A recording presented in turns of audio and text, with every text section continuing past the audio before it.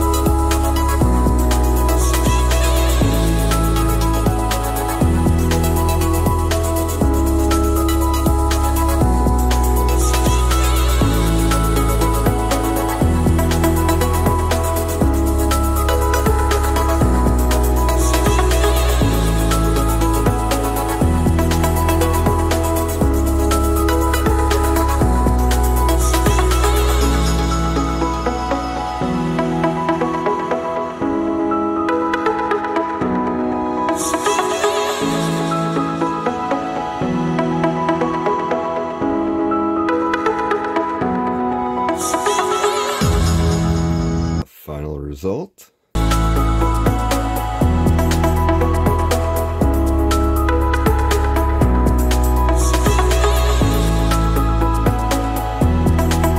Really happy with it. I hope you guys like it.